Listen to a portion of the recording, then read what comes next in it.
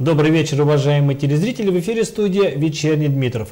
Мы рады приветствовать вас на нашем телеканале и надеемся, что в ближайший час вы проведете вместе с нами. Ведь сегодня у нас в гостях глава Дмитровского муниципального района Валерий Васильевич Горилов. Я надеюсь, что сегодня мы узнаем самые свежие новости жизни района, а у вас будет прекрасная возможность позвонить к нам в студию и задать свой вопрос нашему главе. Итак, вы звоните по телефону к нам 42470, либо пишите на наш сайт dmitrovtv.ru. Ну а начнем мы наш эфир по доброй традиции с информацией о ситуации в районе, сложившейся в последнее время. Пожалуйста, вам слово, Алексей. Спасибо. Добрый вечер, уважаемые дмитровчане. В принципе, не за горами, когда мы будем все с вами провожать старый год и, конечно, встречать Новый год с надеждой, что он нам принесет больше успехов, конечно, принесет больше благополучия, и я думаю, чуть позже мы об этом будем говорить, э, потому что реально сегодня все, что складывается э, в экономике Дмитровского района, э, в социальной нашей жизни, надо сказать, ну, нет никаких серьезных каких-то катаклизм, серьезных, можно сказать, волнений по ряду наших предприятий. В целом сегодня вот тот э, корабль э, в лице малого, среднего, крупного бизнеса, сельского хозяйства, индустрии туризма, он идет спокойно, и мы имеем, несмотря на то, что в целом по стране, как говорят, идет и накрыл экономический кризис, на территории нашего района этого нет – да, есть те предприятия, которые сегодня мы можем говорить, э, дают снижение объемов, но если в целом говорить по, по району, то есть предприятия, которые увеличивают и в два раза э, отгрузку товарной продукции. У нас примерно предполагается почти 60 предприятий. Открытие новых в этом году, и это дополнительные рабочие места – и главное, тот показатель э, трудовых ресурсов на нашем рынке, он практически имеет э, положительный сальдо. Если э, на сегодня на бирже труда стоит чуть более 600 человек, то требуется нашим предприятиям, организациям более 700 человек. И мы понимаем, почему это происходит. Но вот этот показатель, я скажу, он с одной стороны хорош, а с другой стороны, ну, во всяком случае, когда нет конкуренции, э, особенно э, э, прежде всего в рабочих местах, то, конечно, это немножко расслабляет. Но в то же время это дает социальную стабильность, это занятость, это прежде всего обеспеченность.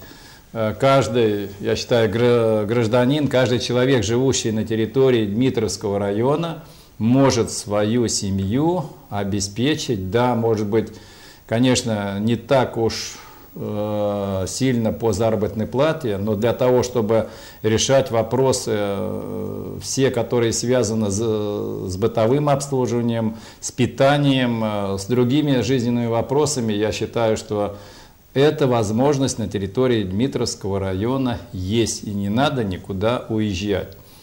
Э, очень радует в этом году нас сельское хозяйство. Мы вспоминаем э, те времена, когда э, более тысячи гектаров мы замораживали продукцию, когда 24 сентября, я помню, ударил мороз 15, минус 15 градусов и стоял неделю.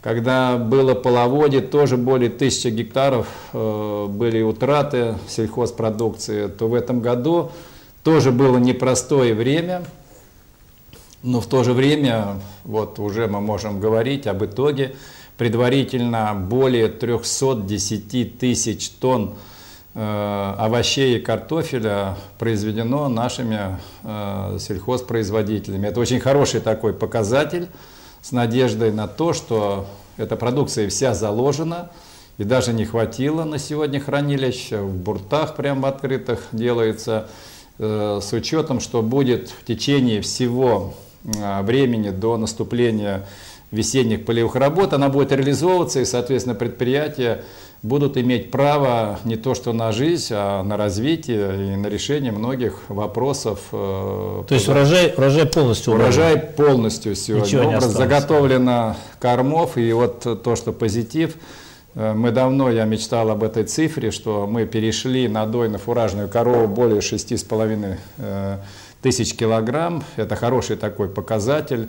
Мы не сократили на сегодня э, поголовье крупного рогатого скота. Это тоже такой хороший показатель. Ну и вот ближайшие на той неделе мы будем, конечно, чествовать всех, весь агропромышленный комплекс вот за такой хороший, можно сказать, рекордный результат. Ну и, конечно, такие основные показатели – это бюджет, это заработная плата, это платные услуги, это товарооборот, это вот критерии, которые говорят о состоянии на сегодня э, платежеспособности населения, о состоянии на сегодня, э, на сегодня наших э, предприятий. Я скажу, бюджет растет, не уменьшается, товарооборот увеличивается, платные услуги растут – заработная плата средняя почти достигнута в среднем 38 тысяч рублей. Вот мы сегодня проводили конференцию. Единая Россия говорили о том, что вот взять соседний буквально район, Кимрский район Тверской области, да в целом Тверская, Владимирская область, Новгородская область, Нижегородская область, это вот наши соседи. Средняя заработная плата 14-15 тысяч рублей. То есть, соответственно, конечно, хотя уровень жизни, он везде одинаковый, расходы, они везде одинаковые, но дмитровчанам есть возможность, во всяком случае, на два с лишним порядка ну, производить расходы больше. Это, во всяком случае, хорошо, хотя я понимаю, что хочется еще лучше. И, во всяком случае, я с оптимизмом смотрю на будущее, э, несмотря на то, что да, реальная ситуация, то, что вот на следующий год на перспективу по цене на нефть, по курсу валюты, она, во всяком случае, пока просвета нет. Но в то же время вот по работе наших предприятий, по тем инвесторам, которые на сегодня вкладывают миллиарды рублей в экономику Дмитровского района, я считаю, что есть хороший запас, что наша экономика, она во всяком случае будет также держаться довольно-таки сильно. И вот в этом году такой очень рекордный будет показатель, около 40 миллиардов рублей, это самый высокий будет показатель Московской области, будет инвестировано в экономику Дмитровского района. В социальной сфере тоже все обстоит достаточно стабильно, По социальной да? сфере сегодня могу сказать, мы указ президента выполнили по обеспечению на сегодня, по представлению детям э, дошкольного возраста старше трех лет Э, дошкольных мест. И в этом году мы планируем сдать еще три детских сада. Я скажу, это еще даст но возможность нам решать вопросы из двухлетнего возраста. Э, я могу сказать, этот год вообще необычный по сносу аварийного жилья, по капитальному ремонту на сегодня, ну почти 300 миллионов рублей сегодня мы вкладываем капитальный ремонт. Э, в строительство детских площадок давно мы такие программы не делали, и я считаю, что каждый год э, как минимум 10% от общего количества детских площадок мы будем обновлять и делать их более современными, безопасными и, конечно, удобными для детей. Так что где-то говорить о каких-то серьезных проблемах, э, вот таких глобальных я бы не стал, но в жизни, конечно, еще есть очень много и много вопросов. Ну, предел которые... для совершенства он всегда есть, да? Да, да. Так, хорошо. А, есть звонок, слушаем вас, говорите. Васильевич, у меня к вам вот два вопроса. Первый. Я слышала, что в прошлом 2014 году у нас в Дмитрове была бесплатная юридическая консультация – вот существует ли она сейчас и где она расположена? А второй вопрос. Вот почему, имея в доме счетчики на общедомовые нужды по электричеству, мы платим по нормативу все время одну и ту же сумму каждый месяц? Спасибо. Значит, что касается бесплатной юридической консультации, это был эксперимент, и э, этот человек находился у нас в здании гостиницы «Дмитровский посад».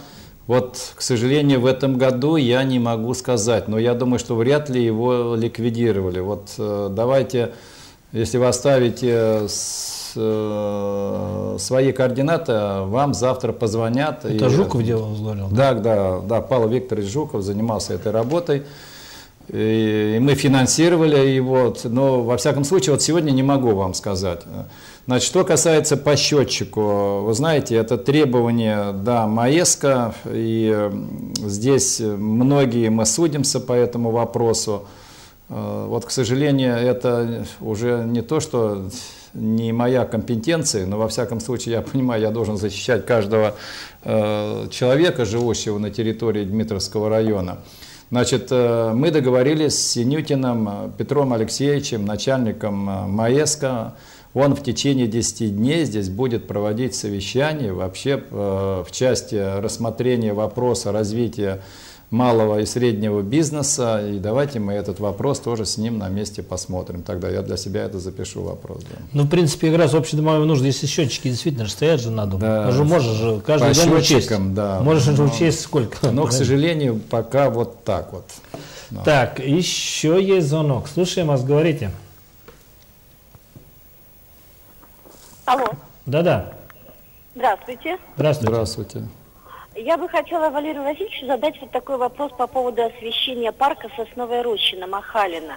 Этот вопрос уже поднимался ну, только мной, наверное, трижды. Обещания были, и вот до сих пор уже как бы год проходит, и парка нет. Гулять на Махалино абсолютно негде. Хотя бы хоть в парке, но вечером не погуляешь. Темнота, не с Это парк Сосны, да? Ну, это в принципе, фрезерным называют махальный, это да, да, да. старый фрезер. Значит, я что хочу сказать. Э, во всяком случае, это будет, другого не должно быть. Значит, есть три места, даже нет, мы готовим в этом году э, четыре места, где люди могут отдыхать, кататься на лыжах, просто гулять. Э, это прежде всего наш спортивный парк РТС, и сегодня мы решили вопрос, нам 70 гектаров земли Гослесфонда передано в пользование. Мы вообще сделаем здесь хороший парк с аттракционными, построим гостиницу, э, построим для детей, будет биатлон и увеличим э, на сегодня лыжероллерную трассу. Здесь хорошая такая будет перспектива. Следующее у нас обязательно парк на микрорайоне космонавтов, в березовые рощи. Мы делаем э, вот сейчас к Новому году, будем там строить очень э, для детей хорошее катание на санях, на ледянках всех. Вот, то есть это там раньше этого не было, вот сейчас мы хотим сделать самую длинную трассу катания на санях. И следующий, конечно, парк Сосны. То есть, да, и, и следующий это молодежный. Все вот эти парки сейчас по этим паркам дано поручение все, что бы необходимо сделать к началу зимнего сезона. К сожалению, да, мы сделали освещение в парке Сосна, но как стоит только оттуда без хозяина уйти, то есть бесконтрольно, соответственно, конечно, украли все провода, значит, все будет, поверьте, все будет восстановлено, лыжня будет сделана, и я думаю, что в ближайшее время, вот прежде всего освещение, мы там восстановим. Владимир ну, к нашему сегодняшнему эфиру мы подготовили несколько видеосюжетов, касающихся вопросов создания на территории Дмитровского района комфортных условий для проживания. И начнем мы, пожалуй, с самого из острова. Давайте посмотрим сюжет.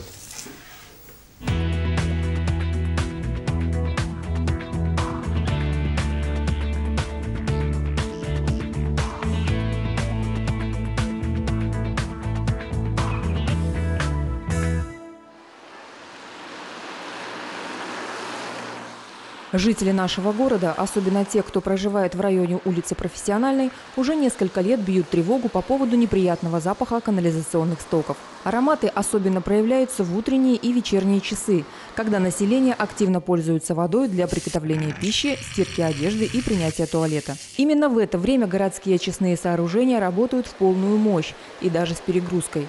От улицы Луговой, где расположены очистные, через железную дорогу до Дмитрова, как говорится, рукой подать. А если учесть, что ветер чаще всего дует юго-западный, становится понятным, почему запахи хорошо ощущаются в микрорайонах Махалина и на улице Оборонной.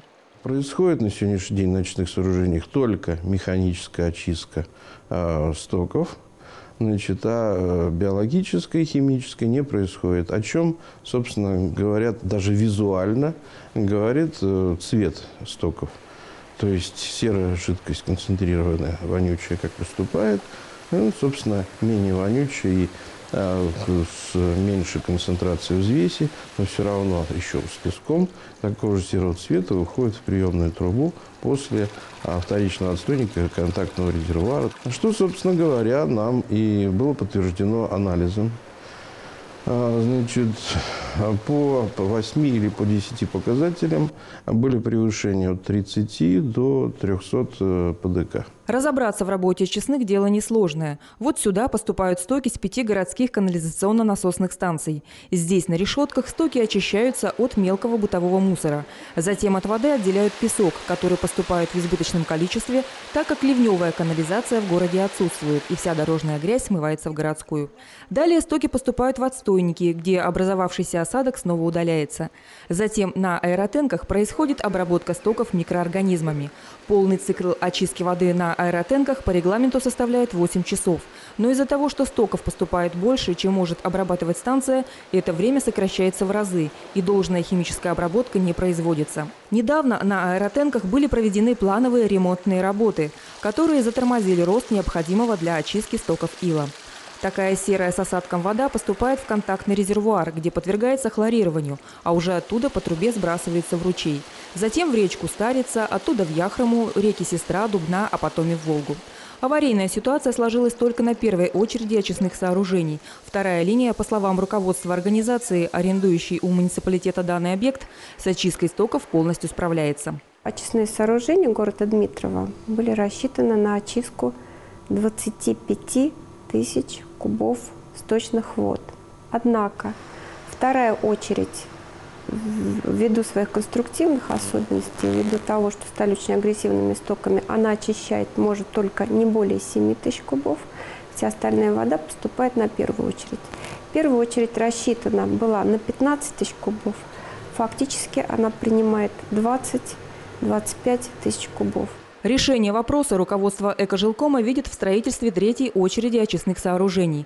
Фундамент под нее был заложен во второй половине 80-х годов и даже велось возведение объекта. Но стройка века так и не завершилась, хотя уже тогда власти издали документ, запрещающий присоединение всех строящихся объектов до окончания строительства третьей очереди очистных. Смотрите, какое количество жилья строится и запускается у нас в городе Дмитрове. Во всех технических сооружениях мы писали и пишем. Запуск объектов возможен только после окончания строительства третьей очереди очистных сооружений.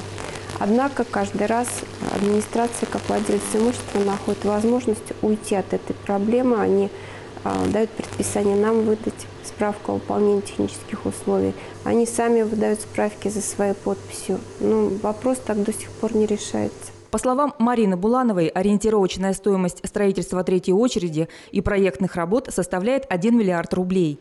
Этих средств, как заверила Марина Буланова, у компании нет. Предприятие работает на средства тарифа населения за стоки. Каждый год составляется титульный список ремонтных работ, который утверждается в районной администрации.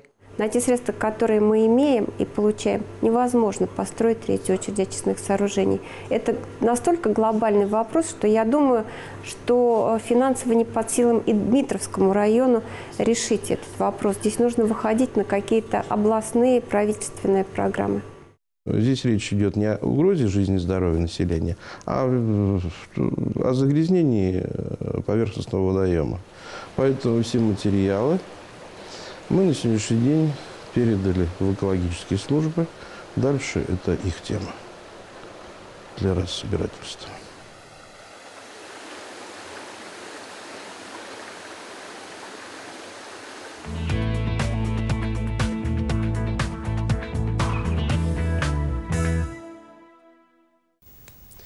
Смотрите, вот такой видеосюжет удалось подготовить нашей съемочной группе, в котором вот достаточно сложная ситуация с очистными сооружениями, вот компании, которые их эксплуатируют, да, перекладывают э, все на плечи районных властей. Насколько верна такая позиция и как в дальнейшем будет решаться данная проблема? Ну, прежде всего, понятно, она проблема есть, ее надо решать всем. Перекладывать, конечно, очень просто. Если ты взял на эксплуатацию объекта водоснабжения, канализования, в том числе очистные сооружения. Если ты не можешь справляться, ты должен просто э, этот Скажешь, я не могу договор расторгнуть я не могу. Но, к сожалению, вот мы просим экожилком, я говорю, отдайте, мы сами будем. Я говорю, нет, вот вы должны сделать то-то, то-то, то-то. Значит, что по сегодняшней ситуации? Принято решение, будет заведено уголовное дело.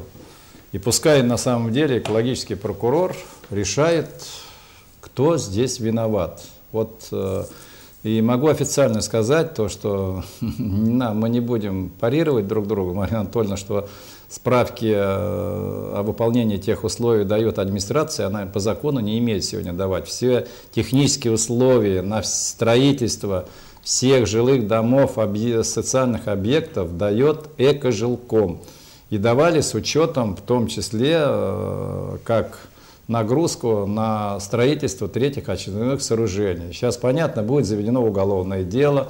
УБЭП проверит все за несколько лет вот эти вопросы, и потом уже, ну, пускай разбирается, я говорю, кто здесь прав, кто виноват. Это первое. Э, во всяком случае, по этому вопросу, я говорю, просто так он не останется. Но на сегодня главная задача, да, быстро вмешаться и не допустить, хоть Олег Геннадьевич говорит, Черкашин, на самом деле жизни здесь не грозит опасности, но загрязнение окружающей среды и вот э, э, те, можно сказать, запахи, они, я думаю, что не дают никому удовольствия. Мы должны немедленно снять вот эту проблему. Мы сейчас работаем с двумя предприятиями. Мы разделили на два этапа. Первый, такой называемый хирургический, быстрое вмешательство. Э, нам уже дали реальное предложение, то есть в пределах 10-12 миллионов рублей мы должны принять раз мер, э, принять несколько мер для того, чтобы во всяком случае обезопасить на сегодня прежде всего не было бы запаха и решить проблему по очистке. То есть химический этап, чтобы заработал, да? да? Вот это первый будет этап. И главное это, вы знаете, сегодня Кожелком не знает, сколько реально приходит стоков на очистные сооружения. Нету водомера. Сегодня мы прежде всего должны поставить реально сколько? 25 тысяч, 20 тысяч или там 15 тысяч и смотреть технологии. Вот по этим вопросам мы сейчас быстро должны разбираться и принять меры. И, соответственно, конечно, эти деньги мы вынуждены, раз э, сегодня кто эксплуатирует, не, говорит не в состоянии это, э, будем э, брать эти деньги, искать в бюджете. И второй этап, это, конечно, такой глобальный капитальный этап. Что я встречался с министром строительства и жилищно-коммунального хозяйства Менем Михаилом Александровичем. Он меня поддержал, и сегодня мы плотно работаем с фондом капитального э, ремонта, э, за которыми как раз стоят э, вопросы развития, реконструкции очистных сооружений. Но он, может быть, по да. старой дружбе, это он все-таки нашим депутатом был, да? Он обещал помочь в этом вопросе, и вот мы сейчас тоже уже работаем с перспективным вопросом. То есть очистными сооружениями мы сейчас начинаем сами заниматься более активно. Вот что могу сказать по этому вопросу. Хорошо, Васильевич. Ну, а вот не связан ли вопрос э, перезагруженностью очистных сооружений с сдачей домов долгостроев? Я имею в виду, э, о которых пишут наши телезрители и звонили сегодня, ЖСК «Спортивный» и «Махальный 13». То есть, вот судя по письменным обращениям, то есть дело с мертвой точки так и не сходит. Да нет, почему? Дело сходится, я скажу, я могу ответить. Э, если мы говорим о Махалина 13, напомню вам, уважаемые э, дольщики, вы сами меня отстранили от решения и не вмешиваться в дальнейшую застройку дома. Э, я думаю, помните, да, когда произошел скандальный разговор у меня с Каноненко, с Березовцом, я говорю, не надо, у нас все хорошо. Но могу одно сказать, что пришли люди, не мошенники, не жулики, э, и, соответственно, конечно, он на сегодня взвалил на себя московскую, где дом сложнейший, который дом был 16-этажный полностью, Э, мы не дали строить здесь 16-этажный, 9, он 10, 11, то есть мы этажи понизили, и в то же время он снял острую проблему по обманутым дольщикам по Московской. Мы в ближайшее время этот дом сдаем в эксплуатацию, и, соответственно, все люди с этого дома переходят на Махалина 13. Значит, э, я думаю, крайний срок до 10 декабря три секции будут стоять с теплом. И, соответственно, начнется активная работа по внутренним работам этих трех секций. Следующие три секции, я думаю, что в январе, в начале февраля будут тоже стоять с теплом, то есть параллельно будут вести внутренние работы по отоплению. И насколько я знаю, окончательный план ввода этого дома к маю месяца. То есть вот эти вот сроки стоят, и я думаю, что в ближайшее время вы просите да, встречу. Каноненко, я думаю, что об этом должен сказать. Но почему сегодня нет таких быстрых э, темпов. Все люди сейчас работают, масса людей на окончании Московск, э, на дома на Московской.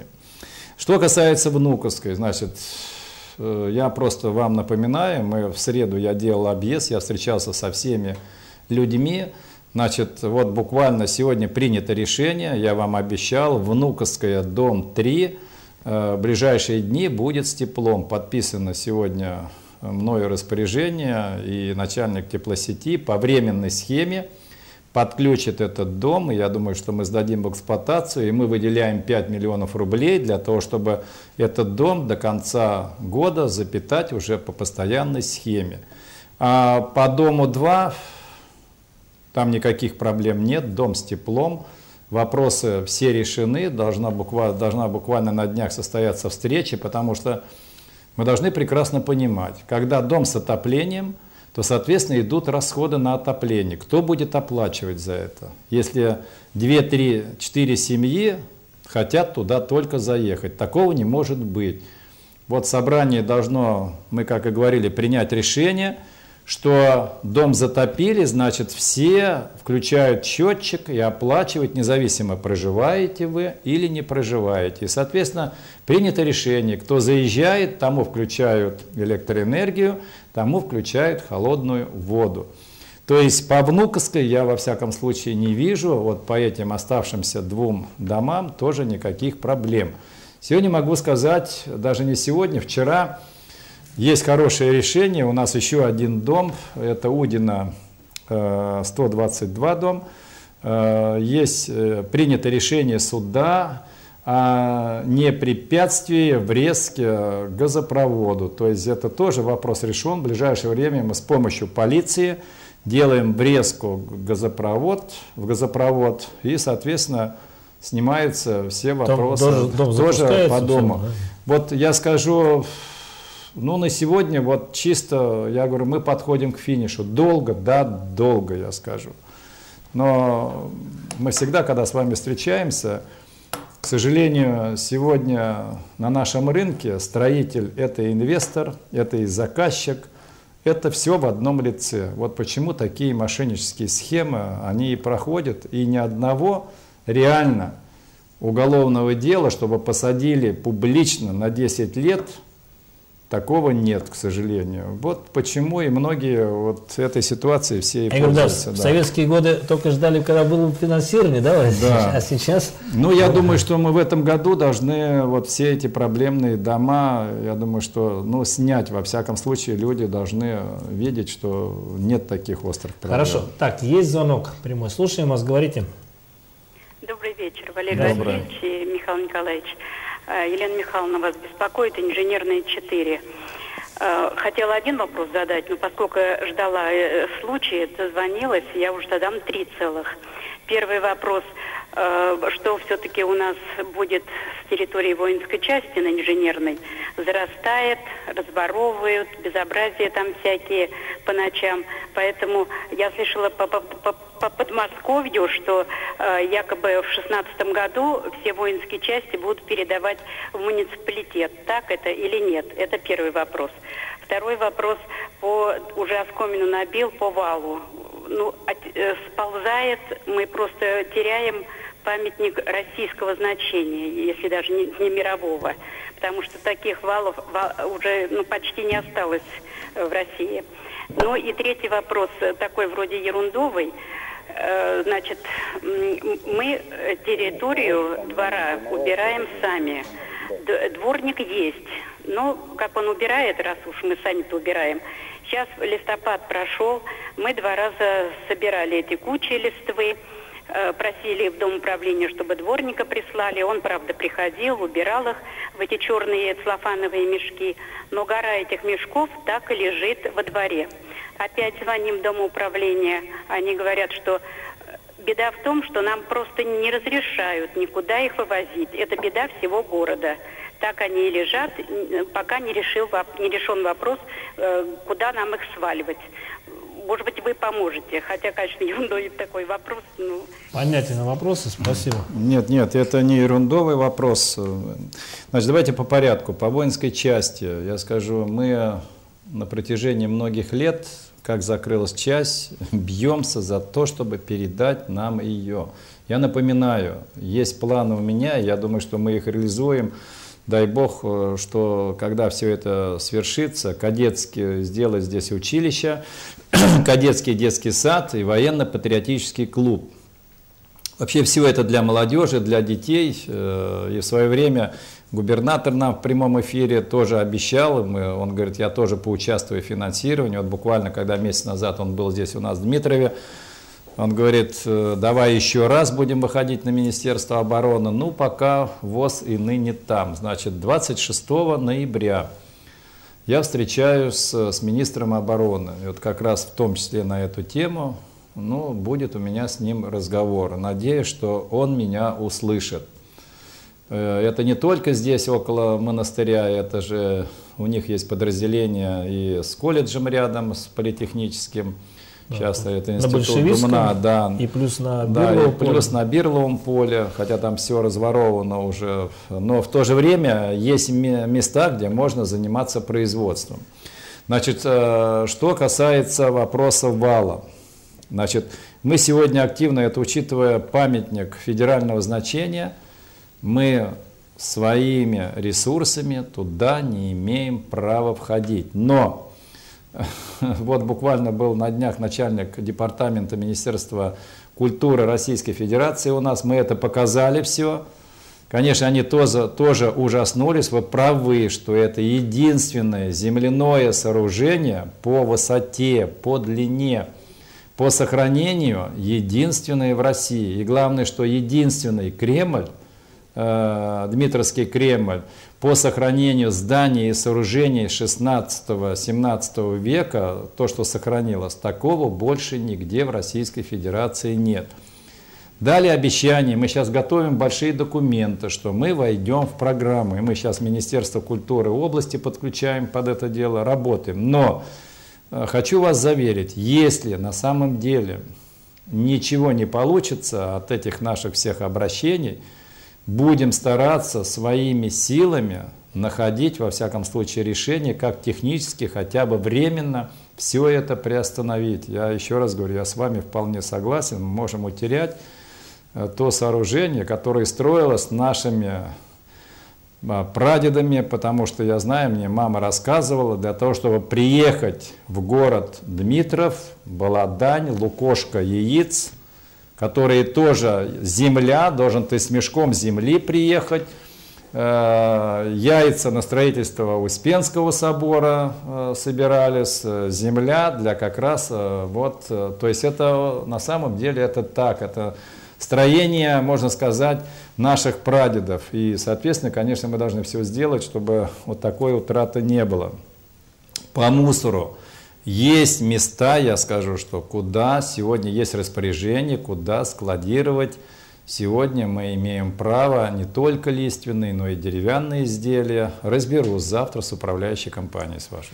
Хорошо, Васильевич, вот до недавнего времени была еще одна большая проблема, это процесс оформления документов, который занимал, э, отнимал немало времени и сил у наших дмитровчан. Теперь, похоже, это все уже в прошлом, подтверждение наш следующий видеосюжет. Пожалуйста. Bye.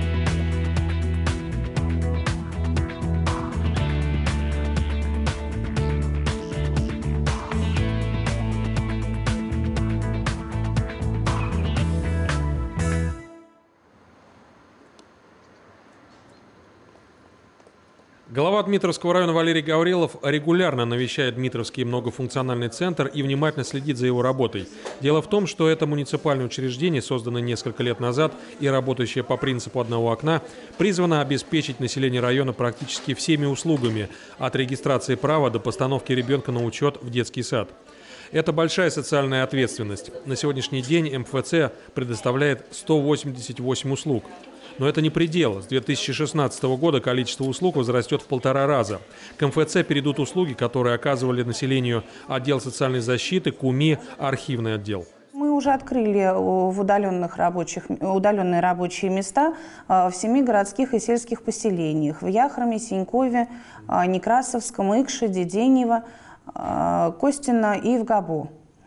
А, туда мы тоже набираем сейчас э, универсальных специалистов, кто будет обслуживать заявителей. А, хотелось бы, чтобы и люди непосредственно там и проживали, чтобы не ездили наши сотрудники-специалисты из Дмитрова в эти удаленные рабочие места.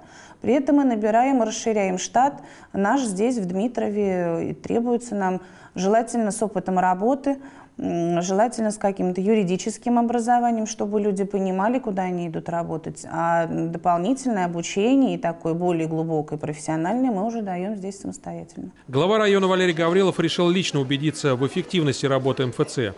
Для этого он выбрал на информационном стенде службу для получения консультации.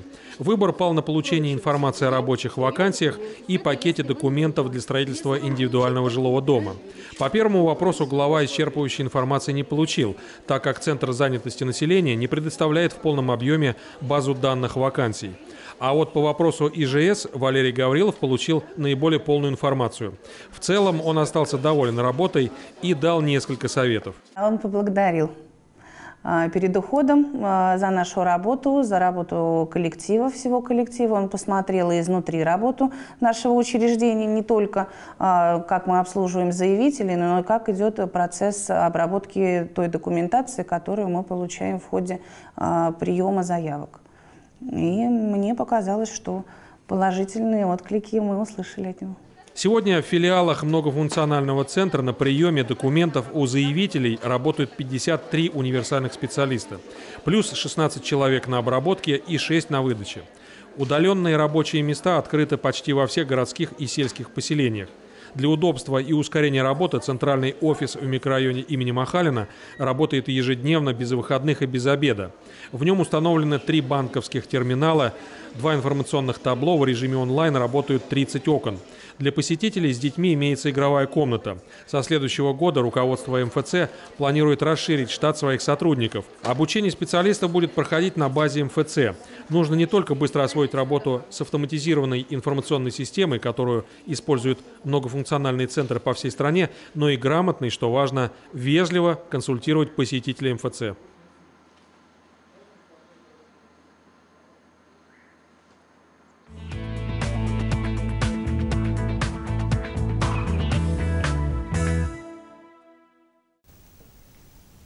Владимир ну вот э, ваш комментарий к тому, что вы увидели МФЦ, то есть остались ли вы довольны э, тем, как обслуживают посетителей, все ли там сделано, и что вообще дальше будет? Как? Ну, надо сказать, э, вот э, все, что происходит на сегодня с обслуживанием населения через э, многофункциональный центр, на мой взгляд, конечно, это правильно, потому что мы все ушли от э, коробок конфет, от каких-то мелких взяток, вознаграждений, унижений – и главное, что вот оно одно окно, правильно, ты приходишь э, с пакетом документов, отдаешь, и согласно регламента установлено, ты просто получаешь эти документы. Да, конечно, учитывая, что сегодня правительство области э, на себя практически ну, взяли все обязательства, особенно по градостроительной политике – то это, конечно, могу вот сразу говорить, немножко, конечно, усложняет. И есть процедура вот, по отводу земельных участков, по разрешению на строительство.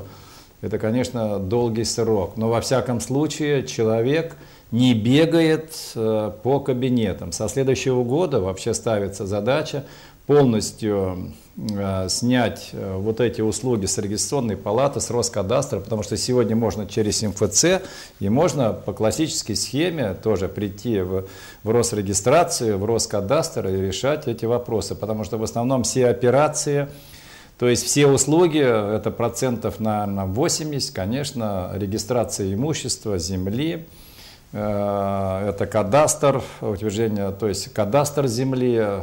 И к нашему сожалению, процентов 80 всех услуг, которые делают работники, хорошие, я скажу, на самом деле, работники нашего центра для москвичей. То есть мы Э, с бюджета местного оплачиваем эти расходы вместе с бюджетом правительства области, но работаем на москвичей. С одной стороны, это вызывает так гнев, но я думаю, что чем больше и быстрее будет поставлено на кадастровый, на налоговый учет э, все имущество, ну, конечно, наша копилка, она будет увеличиваться. Значит, что необходимо в ближайшее время сделать, и мы будем делать. Вот о чем сказала Светлана Михайловна, да, мы в этом году буквально от 11 открыли дополнительных окон, чтобы люди не ездили там с Некрасовского, с Яхрома, с Икши, теперь они прям по месту могут сдавать документы и там же, соответственно, получать документы. Э, пока работает система МФЦ как приемная, можно сказать, но документооборот. Но я думаю, что в будущем, это как в любой цивилизованной стране, э, вся система должна иметь единую программу. Потому что сегодня, да, есть вопрос разрешения на строительство, то есть идет в отдел, то есть решает вопрос отдела архитектуры, градостроительства, я скажу, а, то будет решаться все практически на местах, как это на сегодня делается в Грузии, как на сегодня это делается в Беларуси, как сегодня это делается быстро в Татарстане. Вот они могли найти решение, чтобы в кратчайшие сроки по обращению граждан, особенно по вопросам э, постановки на учет, э, ну, решили вот эту проблему быстрого ускорения. Я думаю, в России это тоже в ближайшее время, я думаю, что вопрос будет решен. Мы должны им помочь сегодня решить с дополнительными площадями, чтобы выдача была отдельно, а где выдача сегодня происходит, дополнительно окна сделать. И, конечно, расширить зал ожидания, чтобы люди не теснились, а люди, конечно, могли ну, более посвободнее там находиться. Так, есть звонок прямой. Слушаем вас, говорите. Алло. Да-да. Добрый вечер. У меня вот такой вопрос по поводу деревни Жестылева. Мне хотелось бы узнать, когда будет газ в этой деревне? Значит, э, ну, по Жестылеву могу сказать следующее, что на сегодня по дороге вопрос решен, вы знаете, да, решается активно вопрос по строительству храма, и в следующем году, я думаю, что мы должны завершить, это будет один из таких красивейших храмов. Э, вот что касается с газом, не хочу вот обманывать, здесь мне надо разобраться, я скажу, потому что, не буду говорить, причина задержки газификации там э, в одном вашем высокопоставленном человеке, который проживал там. Сегодня вся эта проблема снята, потому что все боятся, если будет цивилизация придет в деревню, Значит, соответственно, больше людей будет там постоянно проживать, то туда поедут люди еще дополнительно жить, и вот это вот боязнь. Все, мы сняли эту проблему с этого человека, и э, я могу только вам, если вы тоже координаты оставите, буквально в течение двух-трех дней я вам могу дать полный ответ по газификации. Хорошо, Валерий, несколько вопросов по интернету. Здравствуйте. Прошло повышение оплаты детского сада. Кто решает, на какую сумму повышать оплату? И ради закона повышение в середине учебного дня? Раньше повышали на 200 рублей, сейчас сразу на 600. Вы знаете, это были планы повышения оплаты. Я скажу, выходило у нас управление образования, я категорично это все дело запретил. Никаких повышений больше у нас оплат не должно быть. Надо Это разобраться, этим да? Надо разобраться, да. А вопрос, когда достроить третий корпус к школе номер три?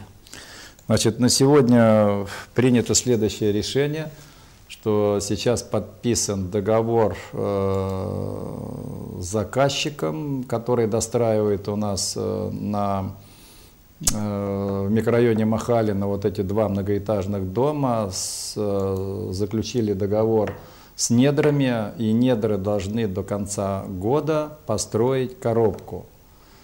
То есть мы пока нашли деньги только на коробку, и, соответственно, уже ставится задача только к следующему учебному году снять вот эту проблему. В этом году нам только удалось немного расшить э, вторую смену, это в десятой школе, а вот по третьей школе, к сожалению, инвестор, конечно, здесь нас подвел.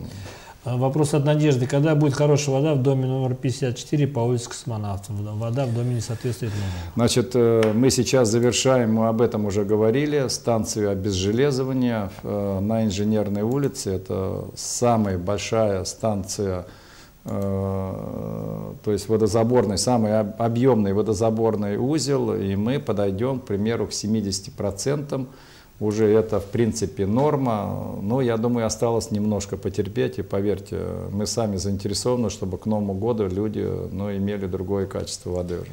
Здравствуйте. В поселке Новосиньково крайне плачевная ситуация с уличным освещением. Домов номер 37, 38 и 40 и других. Освещение реализовано в виде ночников над дверьми у каждого подъезда. Детские площадки не освещены, ни одна. 17 часов каждый день вынуждены сидеть с двумя детьми дома, так как гулять в темноте невозможно.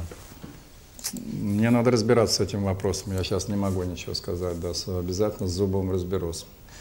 А, добрый вечер, Васильевич. Подскажите, пожалуйста, если я не путаю, то говорил, что детский спорт у нас бесплатный. У меня ребенок 6 лет. Я обратился в бассейн дельфин, мне сразу сказали, что бесплатных секций у нас нет, и это стоит 2 600.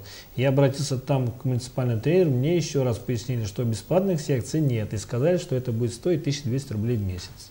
Значит, объясняю. Вот э, если кто-то хочет какие-то свои правила э, внедрить, значит, этот человек завтра не будет работать. Сегодня весь детский спорт, то есть те дети, которые занимаются в секциях. Я понимаю, есть дети, которые приходят в группу здоровья.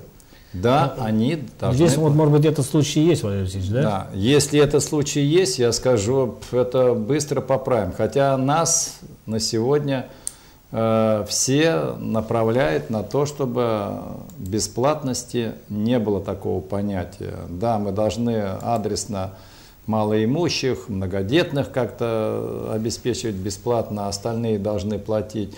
Но я, во всяком случае, пока вот к этому не готов. Я говорю, с плаванием разберусь, обещаю.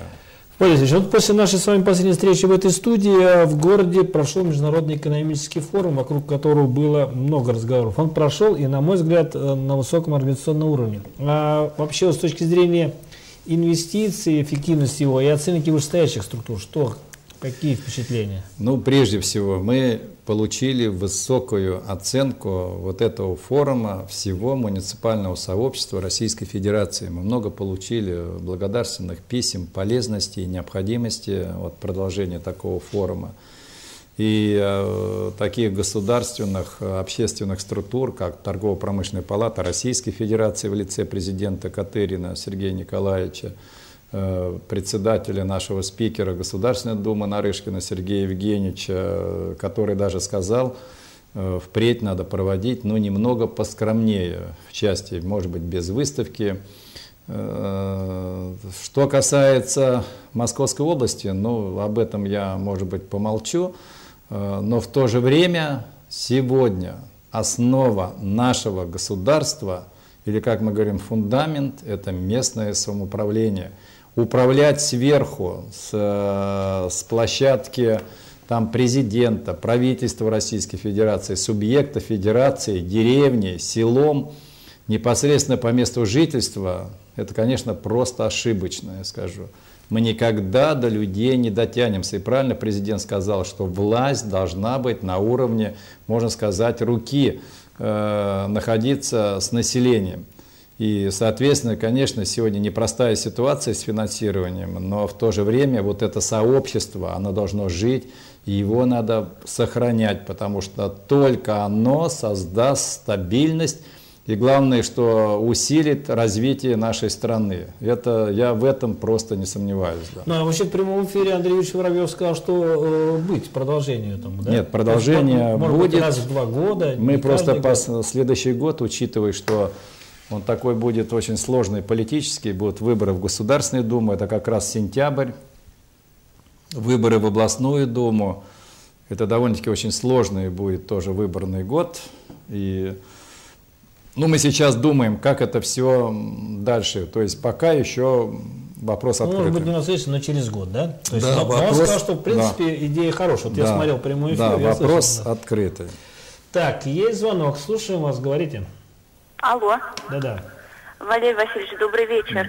Добрый. А, хотелось бы уточнить, вот вас беспокоит жительница ветхого аварийного дома по улице 45А, Московская улица мы, э, э, нас должны переселить до конца 2015 года, но до сих пор мы так и живем в этих, э, в этих домах, вот как 45А и 45Б рядом. Нас до сих пор переселили, никакой информации нет вообще, что-то будут с нами делать или все-таки уже не будут? Нет, Мос Московская улица, все э, двухэтажные бывшие дома перчаточной фабрики будут снесены. И, соответственно, в этом году мы все, э, вы должны, во всяком случае, иметь новые квартиры. Я записал для себя московская 45А, но и еще 45Б. Да, и 45Б. Но еще раз говорю, что московская, вот э, то, что я сказал, у нас такой объем в этом году сноса аварийного жилья, э, мы ни одного года не видели вот таких темпов. Значит, все эти дома мы будем сносить. Значит, я для себя записал. И давайте в газете опубликуем вообще еще раз, какие в этом году мы будем сносить э, аварийные дома. Хорошо, Валерий ну вот в последнее время на уровне правительства Московской области много внимания уделяется вопросу создания и службы 112. Э, в нашем районе создана уже полгода назад и успел завоевать, э, завоевать доверие у наших жителей. Я предлагаю побывать в гостях у этой службы. Пожалуйста.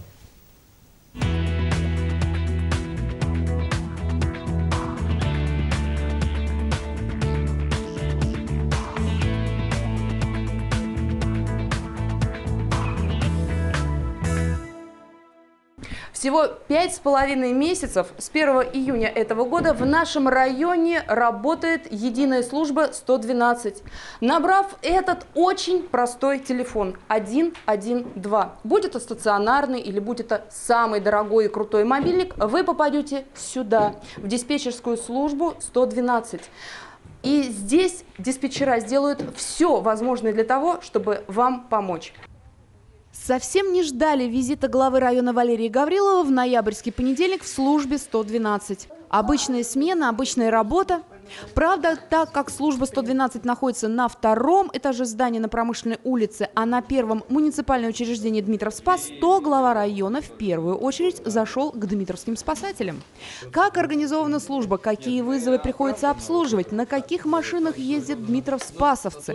Кажется, абсолютно все, что связано с работой не так уж давно созданной районной спасательной службы, волновало главу района Валерия Гаврилова. Руководители отрядом Виктор Волков и Алексей Малов все рассказали, объяснили и даже продемонстрировали. Например, машину, чем она укомплектована, или же о своей работе в разных происшествиях или с детьми. Еще глава района заглянул и в зал, где установлены два тренажера. Один из них – скалодром, на котором каждую смену спасатели отрабатывают свое умение и навыки лазать по сложным вертикальным поверхностям. А второй – для проведения занятий по отработке работы спасателя в связке в условиях нулевой видимости. Ну а в диспетчерской службе 112, несмотря на визит главы района, шла обычная работа по приему звонков. За неполные пять месяцев функционирования этого телефона в качестве единого для оперативных служб было принято и обработано около 100 тысяч звонков. В сутки в среднем от 500 и больше. Пиковые нагрузки приходятся с 20 до 24, а еще в пятницу вечером и в выходные. Прием информации, быстрое реагирование на ситуацию, еще стрессоустойчивость, умение ориентироваться в сложных ситуациях. Диспетчерам службы спасения 112, а это все женщины, приходится в своей работе нелегко, но они справляются. Я и от имени главы района хочу поблагодарить наших операторов, потому что, конечно, работа достаточно напряженная, мы это понимаем. То есть практически сотни звонков идут в течение смены, выдержать их, удержать, как говорится, себя, потом не потерять голову и дать вовремя нужный совет, это, конечно, требует большой выдержки и подготовки. Наши операторы прошли всю необходимую служебную и специальную подготовку в специальных учреждениях, и на сегодняшний день они работают, ну, скажу, хорошо работают. Поэтому я думаю, что и впредь они будут справляться поставленными задачами. Во время разговора об организации работы службы и ее взаимодействии с оперативными службами, это прежде всего скорая, милиция, пожарные, газовики, были затронуты и болевые проблемы. Например, об оперативной работе коммунальных служб, которые по логике вещей должны выезжать на любые аварийные ситуации по своему профилю. Но ведь у коммунальных служб идет работа только на тех объектах, домах и ТСЖ, где есть действующий договор. А создавать единую аварийную коммунальную службу – проект дорогостоящий. Взаимодействие с основными экстренными оперативными службами, оно налажено.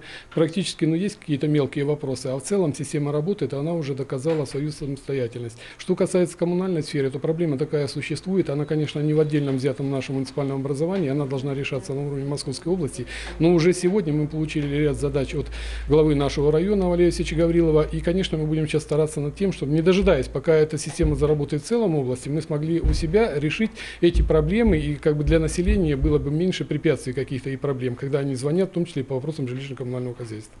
Совсем скоро перестанут работать телефоны, которые мы все знаем с детства. 01, 02, 03, 04.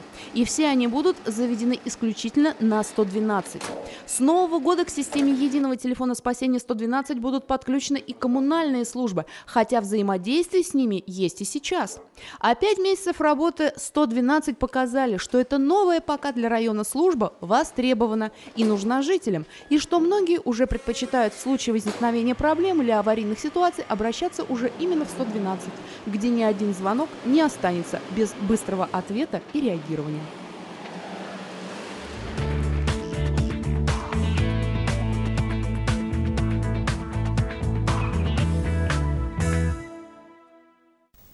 Валерий Ильич, ну вот ваше впечатление от знакомства со службой 112 и, в принципе, какие имеются планы по ее дальнейшему развитию? Ну, что надо сказать, это для наших дмитровчан две новые такие службы. И я скажу, мы вынуждены пойти вот на эти меры, потому что особенно вот то, что мы создали свою спасательную службу, а, на территории Дмитровского района проходит Дмитровское шоссе, очень много, к сожалению, смертельных случаев, очень много случаев, люди гибнут из-за того, что просто блокировка идет дверей, и порой людей можно спасти, задыхаются там. Э, многие попадают в закрытые двери и не знают, куда обратиться. Когда сломался замок, заблокировано в дверях э, пожары, которые были в квартирах, э, к сожалению, вот та пожарная охрана, которая есть, это ей тоже в помощь, и есть результаты, где спасают реально детей. То есть и много-много других вопросов. Во всяком случае, цена сохранения жизни одного человека, ради этого вот стоит даже э, вот, э, создать было такую службу. Я могу сказать, э, у них созданы хорошие сегодня условия, и мы, вот, что я для себя, ну, во всяком случае, принял к действию, конечно, нужно повысить заработную плату, потому что Работают крепкие, сильные мужчины, но получая заработную плату 20 тысяч рублей, конечно, это мало, и мы сейчас этим вопросом занимаемся. Что касается э, на сегодня э, 112, на сегодня губернатор уделяет этой службе очень такое щепетильное внимание. Я должен сказать, на сегодня на самом деле, вот э, я думаю, что все вы согласитесь, потому что порой, когда возникает какое-то экстрема, э, то есть экстремальная какая-то ситуация, мы все теряемся, мы все паникуем, мы не знаем, куда, что звонить, а здесь мы знаем, что если мы наберем три цифры, без всяких дополнительных цифр, правильно, как корреспондент сказала, на любом телефоне 112, и выскажем свою просьбу, и, соответственно, конечно, э, эта ситуация будет подконтрольна всем необходимым спасательным нашим службам. Э, что отсюда я для себя взял и чем необходимо нам заняться? Конечно, вот я хочу поблагодарить вот всю службу 112. На самом деле она сегодня достойная в Московской области. По объемам одна из самых, она больших, оперативных. Э, и никаких таких серьезных нареканий я во всяком случае ну, не вижу, чтобы что-то сказать. Но есть две проблемы, с которыми прежде всего должны заниматься не 112 служба, а власть. Э, я, да, пришел туда просто невзначай и, конечно, заранее подготовил, э, чтобы какой один из человек должен сделать вводную, но, к сожалению, это вводное провалилось. Вопросы ЖКХ не решены. Вот это, наверное, один из таких главных моментов. И, конечно, из таких вторых главных моментов – оперативность э, вызова скорой помощи. 112 э, принимает сигнал, передает скорой помощи, но скорая помощь вынуждена дополнительно еще получить от этого человека информацию. Соответственно, создается большое расстояние для того, чтобы узнать, что у человека, что с человеком э, и конкретно какой специалист должен выехать. Вот здесь вот мы сейчас на уровне, это, конечно, на уровне области должны этот вопрос отрегулировать и снять вот эту бюрократию. Да, есть определенность э, полномочия здравоохранения с части скорой помощи, но для нас главное, чтобы это спасение человека. Должно быть короткое расстояние до звонка приема и уже приезда скорой помощи. Что касается жилищно-коммунальных вопросов, у нас есть очень много частных компаний – Э, есть э, дома, которые на сегодня э, принадлежат, это ИЖС, это тоже индивидуальное жилищное строительство. Не индивидуальное, это ну, как кооперативный дом. И, соответственно, аварийная диспетчерская служба туда не хочет выезжать. Так же, как не, хотя, не собираются они выезжать ни на объекты здравоохранения, образования, культуры и так дальше. Вот наша задача выстроить на сегодня все договорные условия. Неважно, есть авария, аварийно-диспетчерская служба должна сработать, и аварийная служба должна приехать, закрыть, а уже тот, кому принадлежит это здание, дом, должны заниматься устранением. Вот сейчас этой задачей, над этой задачей мы работаем, я думаю, в ближайшее время мы решим. И в целом, я скажу, ставится задача на следующий год максимально все замкнуть на 112. Так что звоните, вы получите, можно сказать, быструю помощь. Ну и во всяком случае подсказывайте своим друзьям, что есть теперь такая служба на территории Дмитровского района, но она и в целом, конечно, в Московской области. Так, хорошо, есть звонок. Слушаем вас, говорите. А, здравствуйте. Здравствуйте. добрый вечер. Валерий Васильевич, добрый Слушай. вечер. Добрый. Микрорайон космонавтов беспокоит. Дом 21. 15 мая были остановлены лифты в связи с заменой их. Ой, 15 э, августа, извини. Ой, сентября. А, Согласно информации, по 31 октября они должны были быть отремонтированы. Сегодня 19 число. А, сегодняшний день я звоню а, по телефону 22 7 36 76 в администрацию города по ЖКУ. И мне было объяснено, что город Москва, которая должна принимать, ну, то бишь комиссии, да, они не будут выезжать, пока не будут а, заменены лифты по городу Дмитрову, ну, в полном объеме. А они заменяются в микрорайоне Фрезерном, на второй Комсомольской, может быть, еще где-то. Вот как нам быть? Понятен ваш вопрос, давай, Василий.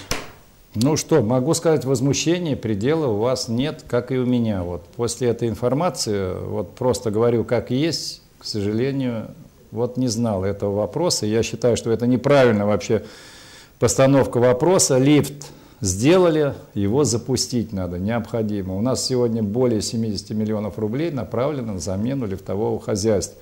Разберусь, и я считаю, что вот, вот этой практики не будет. Если лифты сделаны, я думаю, что мы в ближайшее время будем э, их принимать и сдавать, открывать их.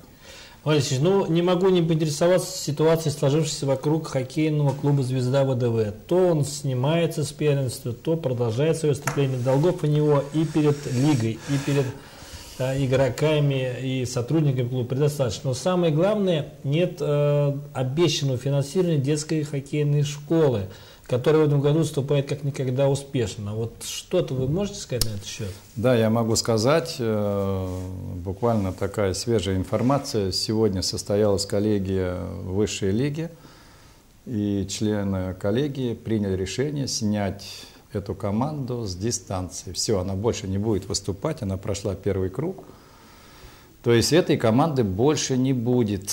И э, я думаю, что особенно, но ну, это касается информации любителей хоккея, э, на игру этой команды практически никто не ходил. Я вот иногда захожу на соревнования нашей школы, там больше людей, чем со взрослыми. Э, не хотелось изначально делать вот этот шаг, но уговорили вышестоящие руководители, что да, здесь все надежно, но вот, к сожалению, порой надо еще много раз перепроверять все это дело. Значит, что могу сказать э, вообще вот на следующий сезон? Этот сезон, конечно, мы ставим задачу, чтобы прежде всего основа, наша школа по хоккею должна не занять там десятое место, восьмое, а как минимум шестое, седьмое мы должны занять в табличной, табли, то есть турнире на первенство школ города Москвы. Сегодня мы занимаем шестое место, мы играем, я, мы идем за локомотивом, я скажу это довольно-таки похвально всем нашим детям, родителям, всем ну, тренерам – и с надеждой, вот то, что сейчас мы перешли на двухразовую на, э, в день тренировку несколько дней, вот это дает хороший результат. Значит, э, финансирование можете не беспокоиться, оно обеспечено, и никаких срывов, проблем по школе не будет. На следующий год э, мы с этой задачей справимся, потому что если мы не справимся, мы потерять можем много детей – мы открываем свою молодежную хоккейную лигу. Над этим вопросом я уже работаю для того, чтобы привлечь инвесторов на содержание молодежки и, конечно, нашей школы. Это будет требоваться порядка 45 миллионов рублей.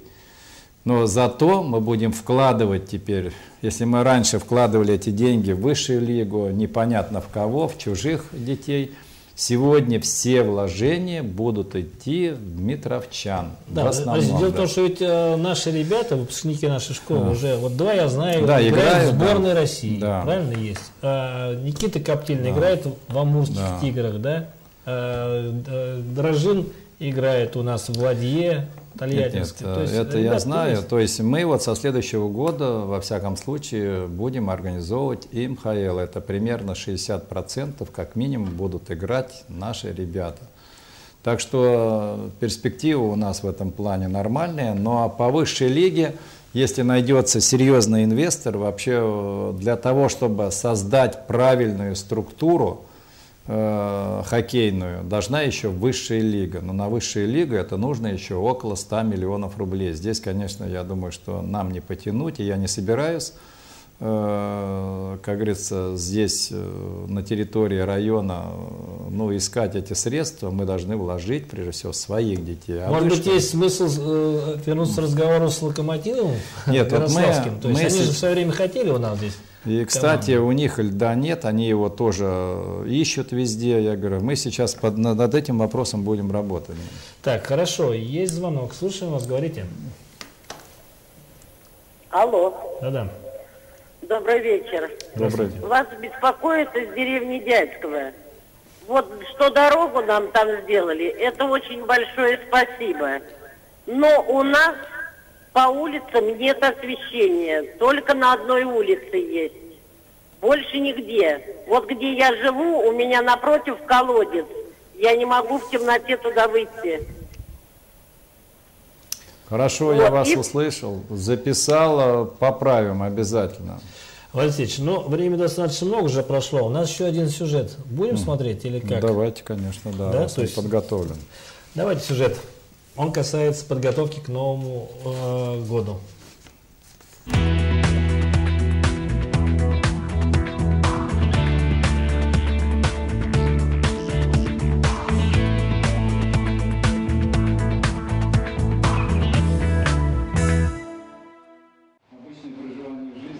Оформление города к новогодним и рождественским праздникам началось. На рабочем совещании глава района Валерий Гаврилов отметил, что пусть наш город и так имеет ухоженный и красивый внешний вид, но и проблем тоже немало. С предварительным проектом новогоднего оформления города всех присутствующих познакомила Татьяна Потапова, начальник отдела архитектуры и градостроительства Дмитровского района. Не секрет, что каждый год Советскую площадь украшают фигурами изо льда. В этом году от них было принято решение отказаться. В этом году у нас будут новинки. Ну, ни для кого не секрет, что из года в год у нас а, скульптуры ледяные украшают центр города.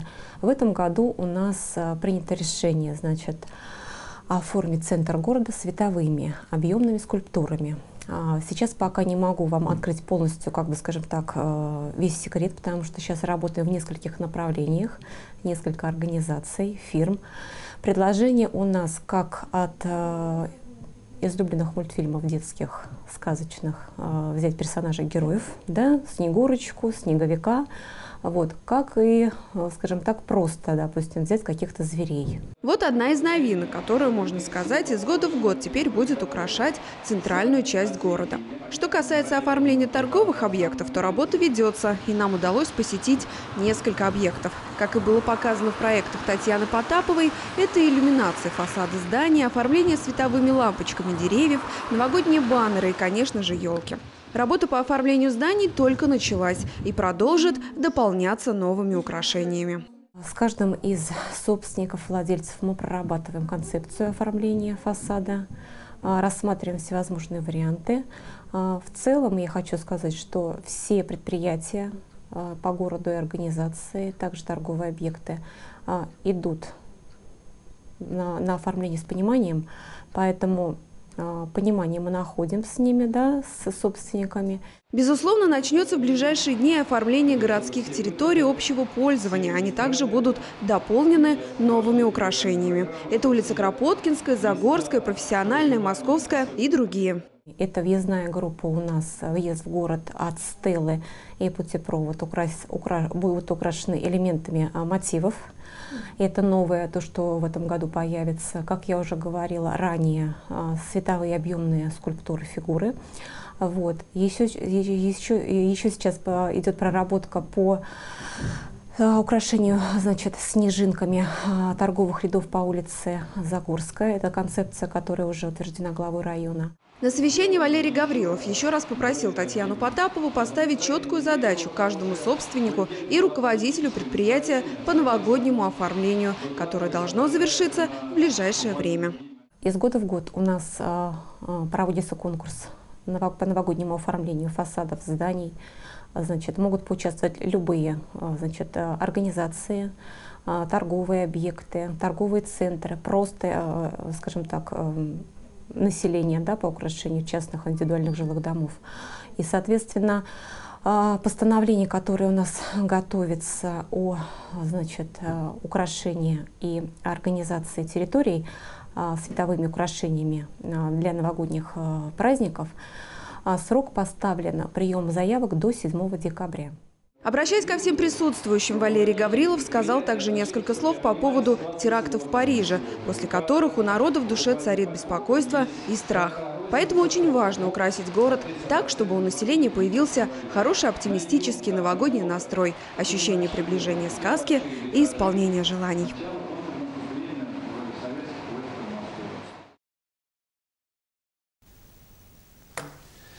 Валерий Васильевич, ну вот во сколько примерно обойдется районной казне новое оформление города, и все ли предприниматели, руководители крупных предприятий вообще вот э, готовы к воплощению предложенных проектов? Казне обойдется 0 копеек. А, то, то есть все мы, за счет не бюджета? Мы в бюджете этих средств нет э, у нас, и, соответственно, все будем делать за счет части внебюджетки и, конечно, за счет предприятий. Вот я еще раз обращаюсь ко всем предприятиям бизнеса. Прежде всего, это предприятиям торговли, потому что, ну и, конечно, ряду предприятий промышленного назначения, что в этом году мы должны еще на один шаг вперед улучшить оформление э, новогодние, праздничные э, вот своих зданий. Вы знаете, как никогда, да, мы провели совещание, люди, ну, во всяком случае, с одобрением отнеслись и подтвердили, что они в этом будут участвовать. Вы понимаете, можно эти работы не делать ничего, да? Вроде тяжело, все плохо, э, но вы понимаете, чем больше будет красоты, чем больше будет э, почвы для хорошего настроения, вы понимаете, это хорошее настроение передастся, вы знаете, всем буквально и во всем. Э, с этого пути я не сойду, и я считаю, что каждый год мы должны улучшать на сегодня, можно сказать, красоту нашего города, наших поселков, потому что во многих поселках уже и главы пошли по хорошему, правильному пути оформления.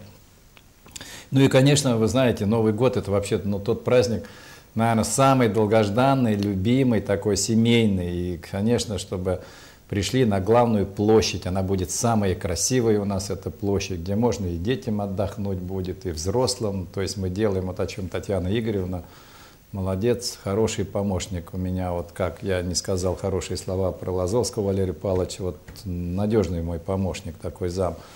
И люди стараются делать и работать с предприятиями, чтобы на самом деле сделать всем хорошее настроение. Мы поставили задачу – чтобы елка основная была наряжена уже к воскресенью, э, к 6 декабря. Мы 7 декабря с детьми делаем праздник э, «Зажгись огнями елка».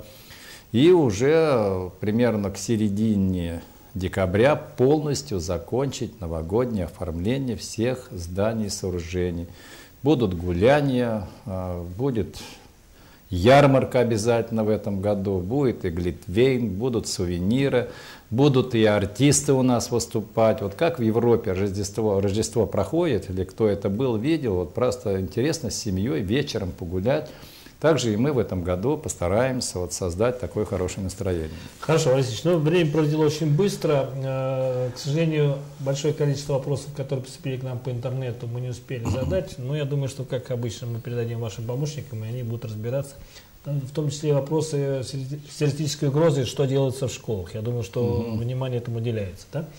А, может быть, какие-то еще сообщения пожелания будут? А, у меня сообщение только одно и пожелание только одно. Пожелание всем желаю просто доброго здоровья, активности э, в жизни, прежде всего на благо вашей семьи, на благо нашего славного Дмитровского района. И э, ну, сказать всем берегите себя, потому что реально время не то, что оно непростое и сложное, но во всяком случае все равно, приходя в магазин, делая, можно сказать, расходы э, необходимые бытовые, мы, конечно, стали терять побольше денег. Э, да, это маленькое такое огорчение, но оно напрашивается на то, чтобы мы хорошо работали, мы во всяком случае э, искали хорошую работу, которая, к нашему счастью, есть на территории Дмитровского района.